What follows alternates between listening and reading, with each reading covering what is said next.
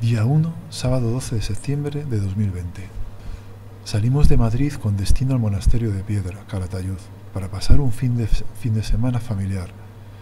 Tras pasar por el bonito pueblo de Nuévalos, en Zaragoza, ascendimos al Parque Natural del Monasterio de Piedra, escondido entre las abruptas sierras del sistema ibérico. El monasterio fue fundado en 1194 por monjes pertenecientes a la Orden del Cister, pero en 1835 la familia Muntadas creó una red de senderos en su interior que cruzan por un vergel insólito en torno al agua y su movimiento en cascadas y grutas para conseguir la admiración de todos los que visitamos. Empezamos nuestro recorrido por el declarado jardín, jardín histórico en el año 1110, por el baño de Diana. A pocos metros se notaba la caída de una notable masa de agua. Era la cascada de la Caprichosa. Una cortina de agua impresionante en suspensión sobre un talud de toba carbonatada. Su sonido mientras caía al vacío y finalmente golpeaba el fondo de una pequeña poza era indescriptible. Aguas abajo creaban una sucesión de pequeñas cascadas donde el agua rugía en todas las direcciones. Subimos por una galería de escaleras excavadas en una de las numerosas grutas formadas en la toba. Llegamos a un pequeño alto desde donde se divisaba todo el parque. Continuamos la ruta señalada por flechas hasta el siguiente punto de interés, los vadillos. Situado en un replano con una ligera pendiente, el agua discurría más plácidamente, formando una sucesión de dulces cascadas y remansos que culminaban en un puente de varios ojos. Seguimos por un camino cada vez más arcilloso y pegajoso, ahora de ladera descendiente. Los frenos altos nos esperaban. Constituían unas cascadas más livianas cubiertas en sus paredes por un manto de musgo sobre el que discurría el agua lentamente. Toda el agua era recogida en una acequia lateral que lo trasladaba a otro lugar, Ahora el monasterio, ahora era el momento de descender, con mucho cuidado, hasta la zona conocida como el Vergel.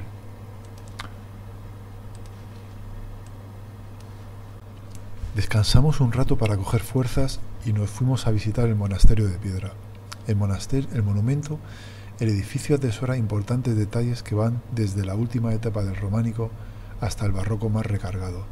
Acoge todas las dependencias utilizadas por los monjes y comprende la sala capitular, la abadía, la silla, convertida en el Museo del Vino de la denominación de origen de Calatayud, cocina, refectorio y calefactorio.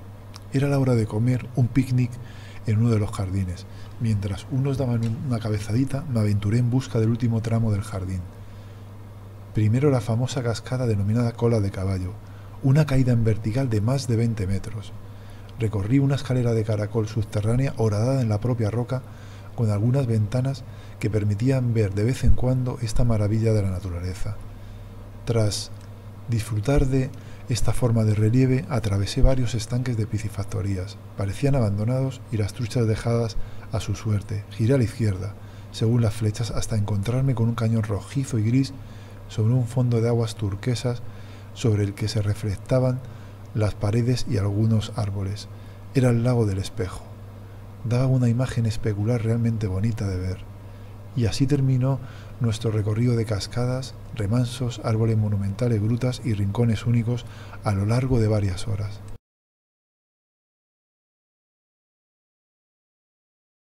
Día 2. Calatayud, Somaén, 13 de septiembre.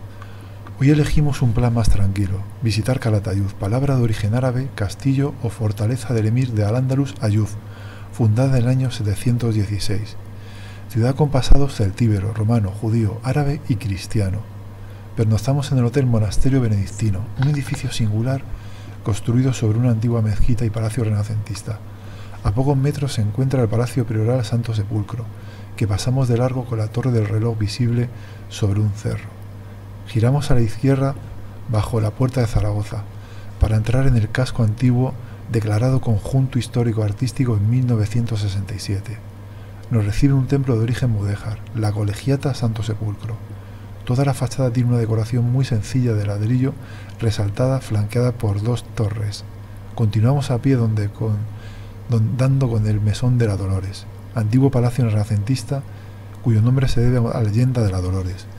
Nos adentramos por las calles estrechas para llegar a una plaza medieval porticada, donde se situaba el Zoco, la Plaza de España.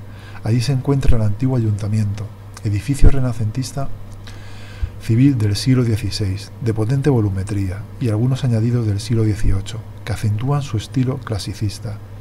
En esa misma calle está el oratorio Nuestra Señora Buen Puerto y el Arco de San Miguel. Tras cruzar los bonitos balcones, en un callejón está el Palacio Sesé, de estilo aragonés del siglo XVI y XVII con galerías de arquerías corridas, bajo alero de gran vuelo. A unos pasos abre una ventana al mudéjar, de hecho Calatayud es declarado Patrimonio de la Humanidad por la iglesia de San Andrés del siglo XIV. Destaca por su fina torre mudéjar de planta octogonal, con interesantes decoraciones de ladrillo, fundada tras la reconquista por Alfonso I el Batallador. Hacia el castillo de la Martina se sitúa el barrio de la Judería. La presencia judía es simultánea al periodo musulmán. Conforman un entramado de vías angosto y sinuoso. Se han defendido la existencia de ocho sinagogas o pequeños oratorios. Actualmente se mantienen dos, entre ellos la actual ermita de la Consolación. Descendemos con precaución y subimos 80 jalones, contados por mi madre uno a uno, al santuario de Nuestra Señora de la Peña, patrona de la ciudad. Construido sobre el castillo de la Peña, ha sido reedificado en varias ocasiones. Desde allí se tiene unas vistas preciosas de la ciudad como estáis observando. Las torres mudéjares sobresalen sobre diversas alturas de edificios del núcleo, mientras que el valle del río Jalón se extiende sobre una amplia vega. Apetecía quedarse más tiempo, pero no lo teníamos. Así que bajamos con sumo cuidado en dirección a la fuente de los ocho caños, de época renacentista del siglo XVI. En sus proximidades está la puerta de Terrer, construcción bajo renacentista, costa de dos torreones, unidos por un arco rebajado, sobre él el ángel custodio de la ciudad. Seguimos calle abajo dando con el Palacio de la Comunidad, un bello edificio del siglo XIX que es la sede de la comunidad, comarca del Gatayud. Tras superarlo y girar a la izquierda se, observa la iglesia San Juan el Real, cuyo exterior es sencillo con una torre mudeja del siglo XVIII. No pasamos a su interior. Un elegante barroco con pinturas de olla. Una calle más ancha está la iglesia de San Pedro de los Francos, parroquia construida tras la reconquista por Alfonso I en el siglo XIV, de arquitectura ojiva y torre mudéjar, inclinada. Tiene portada gótica con hieráticas esculturas. Enfrente está el Palacio de Barón Garsag. Presenta una portada neoclásica, entre columnas de origen toscano. Fue edificado a principios del siglo XIX. Volvemos sobre nuestros pasos a visitar el Museo de Calatayud. Anexo está el Monasterio de Carmelitas Descalzas. Dicho museo muestra piezas y arcos y restos arqueológicos de los primeros habitantes de la Bilbilis primitiva, de tribus celtíberas y sus posteriores conquistadores romanos en el siglo II a.C. Tomando como núcleo el Cerro de Bámbola, adopta los rasgos propios del urbanismo romano, foro, teatro, esculturas, termas. A partir del siglo IV después de la ciudad está sumida en el abandono.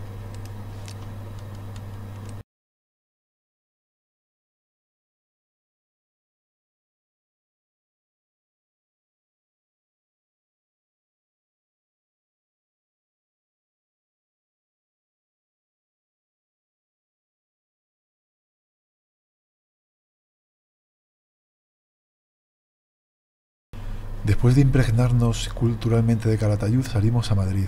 Hacemos una parada en un pueblo pintoresco, Somaén, donde sus casas están asentadas al lado del río Jalón. Las abruptas laderas rojizas y grises, una especie de carñón del Colorado, dominan el paisaje. El cerro está coronado por un castillo árabe del siglo XI, fortificación formada por dos torreones unidos por una muralla. Tras un paseo corto pero intenso por el calor y las pendientes de sus calles, Visitamos también la iglesia Nuestra Señora de la Visitación y la ermita de la Soledad. Los buitres planeando continuamente sobre nuestras cabezas nos despiden de esta excursión por tierras aragonesas y sorianas, en muy buena compañía de la familia. Hasta la siguiente.